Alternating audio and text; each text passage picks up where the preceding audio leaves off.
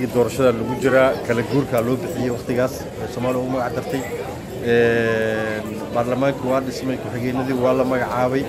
Waxaa dhiman waktigii la iclaamiyey madaxweynaha loogu dhawaaqay oo ku shan iyo tobanka mey oo ah maalintii s y l dhallinyarada soomaaliyeed iyo xornimada iyo halgankii taariikhiga ahaa. Maalintaasaa lagu aadiyey.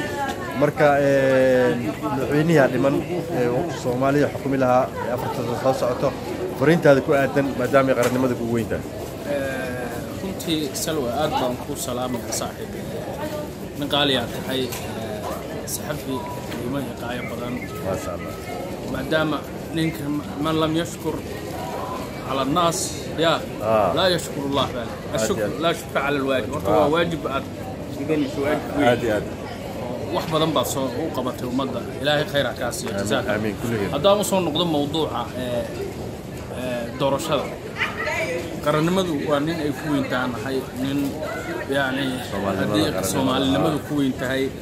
Ee, gacan gacmo wadajir bay wax ku qabtaa maali. Haddaanay midigtu bidixda caawinayn midigtu keligeed wax ma noqon karto.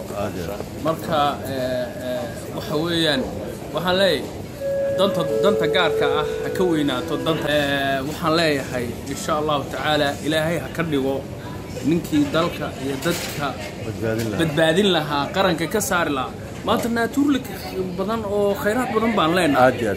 Sacuudi arabiyadan imaaraadkan qatartan kuweytkan shidaalkay leeyihiin Ah. ku ka badan baan oo haysanaa. dhulka cigaaga ah. Oo ceegaaga oo badda ka buuxa dalku aqo- aqoon-yahanada dalku yani maaha dalka inaynu dawarsanno adduunka qaxootiyo ku noqono yurub iyo ameerika iyo ya dalkeena inaan wax ka qabsanno shidaalka badda ku jiro oo keliya wuxuu turku ku tilmaamay saddex boqol oo bilyan oo foosto waa ka kayd badannahay dalalka adduunka venezuela iyo sacuudi arabia Aad iyo aad. iyo khaliijka markaa madaxweynaha aan usoo noqdo noqdo mawduuca khayraad badan macdan mar kale aan wax- barnaamij ka diyaarin kaa waa doonaa. ka hadli Ah. doonaa oo Marka waa- madaxweynaha waxbaan- waxbaan ka fariintaasaa qoray. u diraysaa madaxweynaha waxaan leeyahay inuu ilaahay ka dhigo mid ilaahay khayraadka in- waddankiisa tuso. in ninka soo bixi doona la wada aqbalo lala wada shaqeeyo in laysku mucaarida maaha.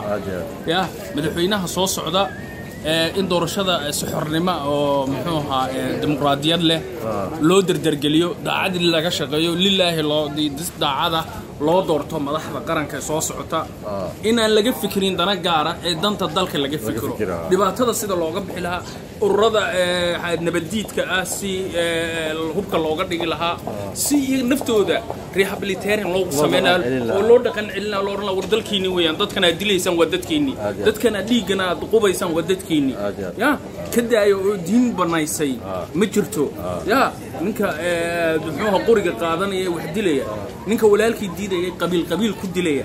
Ya marka waxaan leeyahay doorashada ha la galo oo ilaahay ha laga boqo. madaxweynihii soomaali qaranka soomaali badbaadin lahaa. Ee ubadka jiilasha dambe badbaadin lahaa. War dalka waana laga qaadaya wallaahi. Ah. wallaahi tu- dalalka jaarkaa lagu daraya haddii aynu dad noqon weyno oo ismaamuli weyno. Ya? Oo haddaan tashan weyno waa naloo talinaya. Fariintaasaan diraya